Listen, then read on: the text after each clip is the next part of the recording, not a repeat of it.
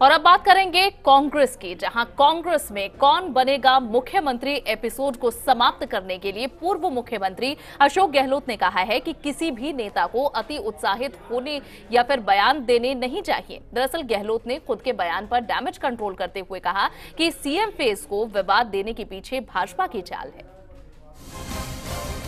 विधानसभा चुनाव से चंद महीने पहले पूर्व केंद्रीय राज्य मंत्री लालचंद कटारिया के बयान पर कांग्रेस में घमासान जारी है।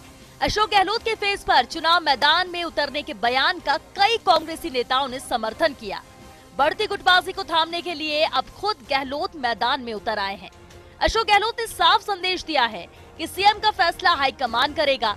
गहलोत का कहना है कि कांग्रेस में ये गलत परंपरा होगी। अगर कोई नेता खुद को सीएम चेहरे के तौर पर पेश करता है इससे मीडिया और जनता में गलत संदेश जाता है।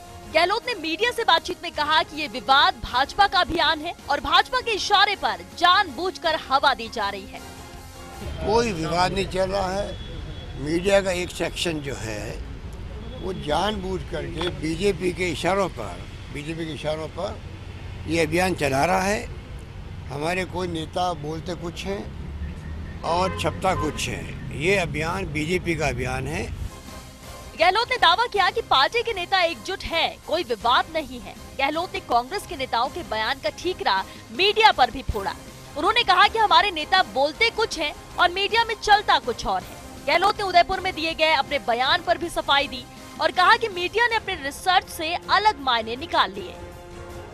मैं खुद कहता हूँ पूरे देश के सब राज्यों में कि किसी को अधिकार नहीं है कि वो खुद ही अपना चेहरा प्रस्तुत करे मुख्यमंत्री के रूप में। ये कांग्रेस की परंपरा के खिलाफ होगा। और जो खुद चेहरा अपने आप को ही प्रस्तुत कर देगा, अपना आप को प्रोजेक्शन करेगा, वो मुख्यमंत्री नहीं बन सकता है। मैं ये बात सब जगह कहता हूँ।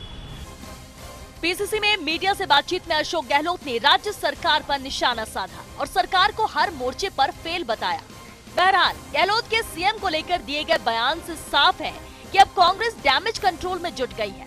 फिर भी देखना यही होगा कि अशोक गहलोत के बयान के बाद लीडरशिप विवाद पर ब्रेक लगता है या नहीं? Dinesh Dangi first India news Jaipur.